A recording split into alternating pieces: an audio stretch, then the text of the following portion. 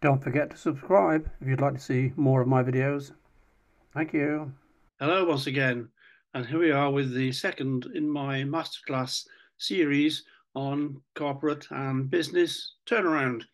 The first one, if you recall, was outlining what I consider some uh, golden rules about approaching a turnaround assignment as an advisor or indeed as a, as a manager. So today, just want to briefly talk about organizing the structure of your turnaround project uh, before you start. I like to keep these things into the bite-sized chunks, fairly small, um, just a few minutes um, before we get onto the, the detail of going into the uh, plan itself. So first of all, today we're going to talk about structuring your turnaround assignment. So here we go. So business turnaround masterclass two, organizing the turnaround project. Briefly, Moore Fleming, who are we? A global firm with a focus on transformation and strategic growth, located in London and Berlin. Um, unlike other management consulting firms, we provide the same expertise, if not better, of course, um, but without the high high fee rates. Just briefly, just before we to paint the picture, before we talk about the five-point plan, um, looking at the life cycle of a business, this is from my own experience.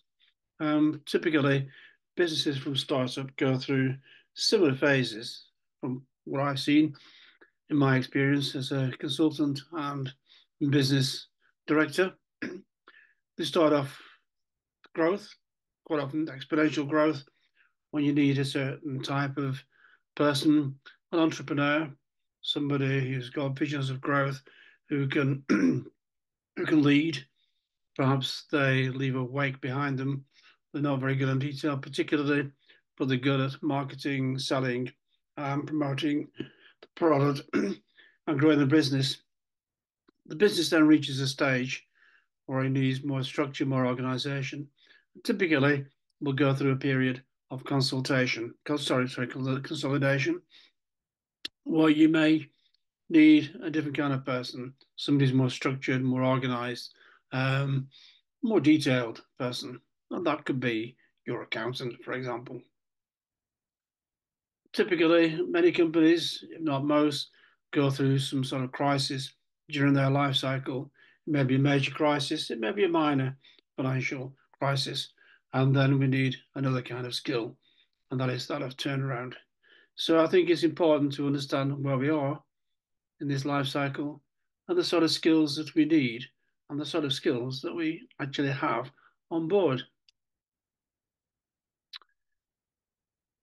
If we look at a traditional financial recovery, as promoted by the insolvency profession, this involves basically recovering the business, usually by some downsizing, disposal of assets, um, dismissal of employees, etc., selling off some of the assets, perhaps even selling the company, um, putting a bit more money into it, and really putting it back to where it was before, um, which is fine.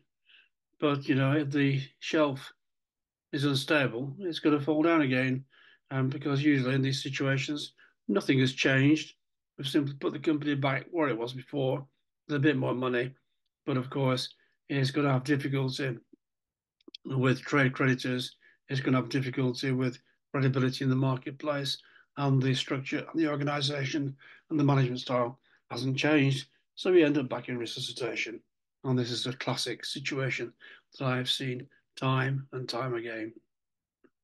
So the five point turnaround plan.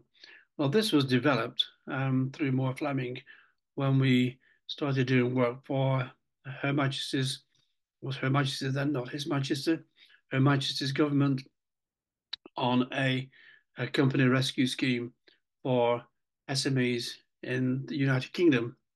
So we developed this this structure. This is not a process, you know. We, we, this is a, a structure that we work within, but in turnaround, my experience is that you have to be um, flexible. you have to be creative. Right. So the, the, the first thing, like any situation, any project really, we want to make change is to identify what is wrong. And this is what we call our, our diagnostic. And we, we developed a diagnostic um, through this business rescue scheme, which we use um, for advisors that I trained to go into a company and flush out what the major issues were and whether the company could actually be turned around. So this is the purpose of the diagnostic. So first thing first is to get into the detail of what are the issues. To do this, there are techniques that we will talk about, and I will have a separate masterclass on carrying out the diagnostic. Um, but typically, this involves root cause analysis, drilling down to actually find out what the real causes of the problems are, not what are, what the perceived problems are, um, but what lies behind it. For example, when we say that um, we're not achieving sales, why is that? Is that because of the products that are not right? Is it because of delivery? Is it because of lack of planning? Is it because of lack of sales? So we drill down until we find the right um, cause of the problem. And we use the five whys technique, asking that question, why, why, why, until we find out what is really wrong. And this applies to all the various functions and activities of the business. Um, and the, the diagnostic will be repeated and repeated um, as we go through the project, as we look at individual projects in each department and each sphere of activity in the business. Once we've uh, identified the initial um, issues, the next step, which we can often do in parallel, is to create a window of time. This means talking to trade creditors, other creditors such as the tax authorities to give us breathing space, putting people on hold, telling them that we're actually looking at the situation, we're looking to resolve it, but we need a bit of time. it might be making changes in the way we do things, cutting out some costs wherever we can, such as overtime, working, etc., changing shift patterns if that is applicable, and um, you know not using some of the non-essential services that we might buy in. So wherever we can cut costs, we will do that as well. We're actually going to try to stop paying our money wherever we can. We want to stabilize the cash so that we can actually have a bit of time and breathing space to start doing the planning and implementation. Planning the long term, the first step is to carry out a, a cash flow forecast, usually for the next three months, 13 weeks, called the 13 week cash flow. We need to do that to understand where we are now in terms of cash and what the situation is going to be over the next three three months and how are we going to manage or can we manage over the next three months? Because if we can't, then there may be a way forward. So it is important to do that. And going back to the initial diagnostic, one of the first things we will have done, of course, is to actually carry out the acid test in terms of the solvency of the business. So that'll be the first phase of the, the diagnostic. So I'm assuming when we're going into this, we've already identified that there is the scope, the potential, uh, not guarantee, but the scope to turn the business around. So during that window of time, we've planned the longer term um, project, the actions, the projects, the mini projects. Um, we've worked on the team, who's going to be leading, um, who's going to be helping. Um, we've perhaps changed the roles of some of the managers. We might have put the, for example, the managing director out um, into the marketplace on sales, if, if that's an issue.